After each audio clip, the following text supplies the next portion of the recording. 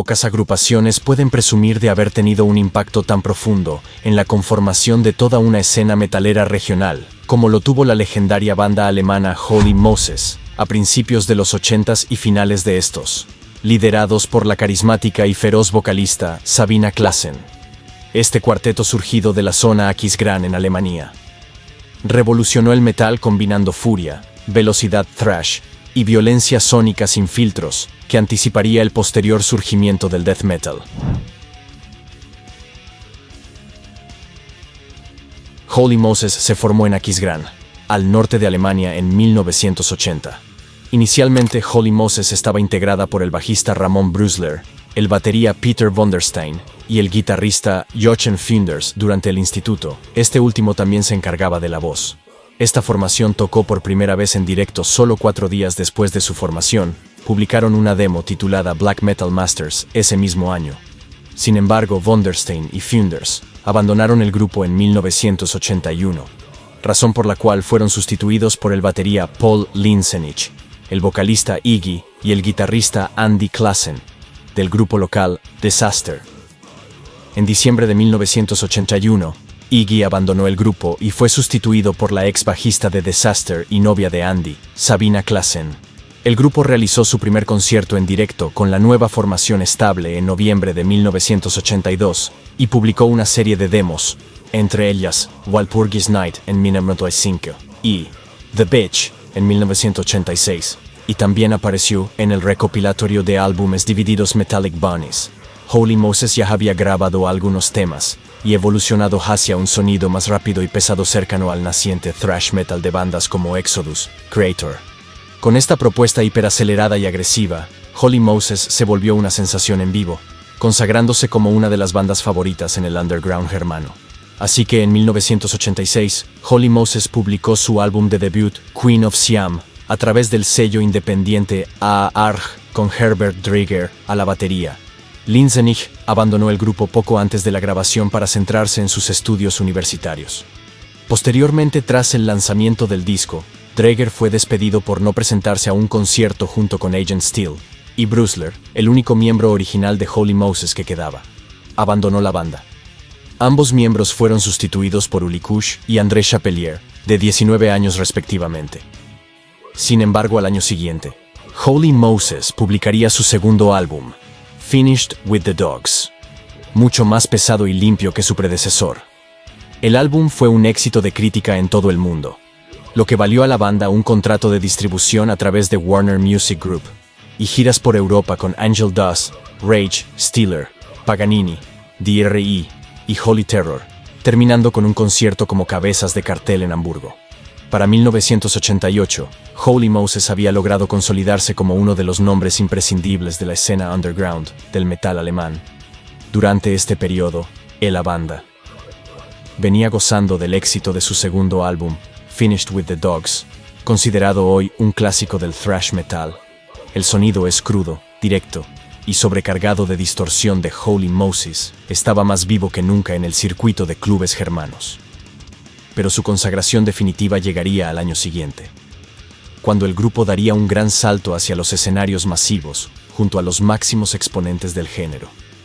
En plena cresta de la ola thrash, Holy Moses tuvo el gran honor de ser elegidos como banda soporte de la gira europea de Metallica en la primavera de 1989, presentando su aclamado And Justice for All ante decenas de miles de metaleros del viejo continente compartir escenarios cada noche junto al mismísimo James Hetfield y compañía significó un enorme apoyo para Holy Moses, otorgándoles una notoriedad sin precedentes más allá de las fronteras alemanas. Poco después de aquella exitosa gira junto a los thrashers estadounidenses más famosos, ese mismo año, Holy Moses sería parte de un hito aún más monumental, el Festival Dynamo Open Air de 1989, considerado uno de los eventos musicales importantes de ese tiempo. Miles de metaleros presenciaron la brutal energía escénica de la banda alemán. En medio de todos esos shows multitudinarios, Holy Moses empezó a grabar su tercer álbum de estudio, World Chaos, con la producción del veterano Harris Jones, famoso por su trabajo con bandas clave de la escena germana, como Creator, Sodom o Destruction. Contando con mayor presupuesto, la banda pudo capturar un sonido más sólido y contundente, sin sacrificar un ápice de su cruda potencia. Más allá del excelente momento musical, Holly Moses seguía fiel a sus letras combativas y mensaje contra el conservadurismo religioso y valores falsos de la sociedad. Temas como Near Dark reflejaban la visión crítica de Sabina sobre el mundo.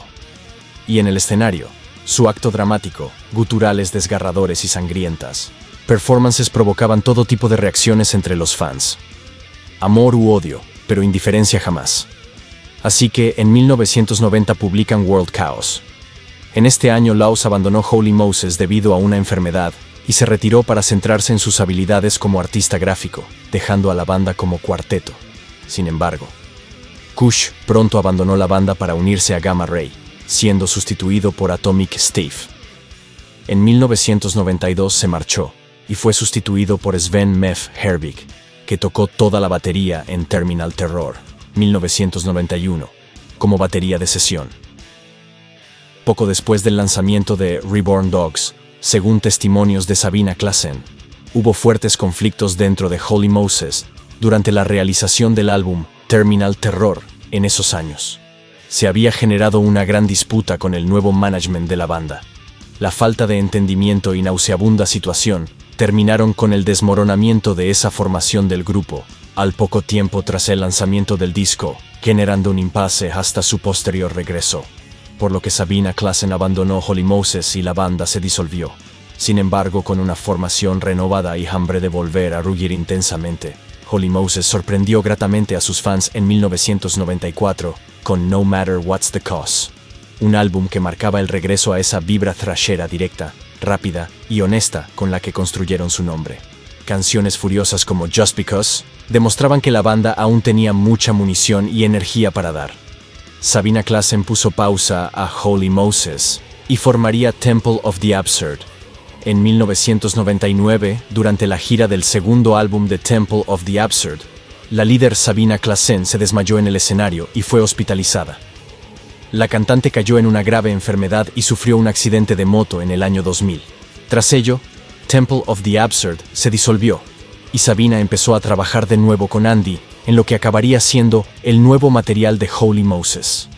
La banda volvió a formarse a principios de 2001 con Frankie Brotz y Joran Schubert a la guitarra, Jochen Funders al bajo y Julian Schmidt a la batería. La banda volvió a actuar en varias ocasiones en Europa y Corea del Sur y publicó un EP titulado Master of Disaster a través de Century Media, Andy Klassen permaneció con la banda como compositor. En 2002, Holy Moses publicó Disorder of the Order, su primer álbum con la nueva formación.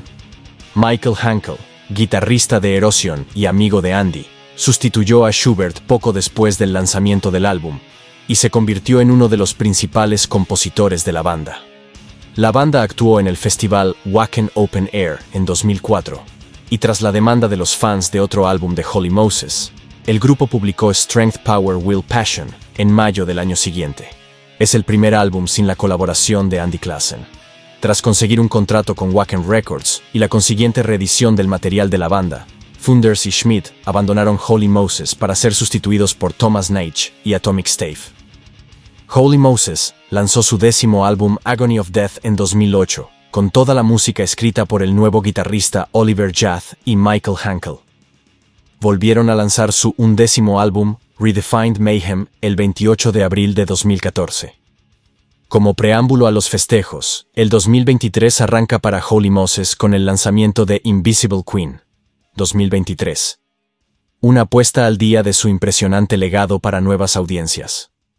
Holy Moses demuestra con creces que su espíritu indoblegable y amor por el metal más crudo aún permanecen, como parte integral del ADN de la música más extrema de Alemania. Esta fue la historia de Holy Moses.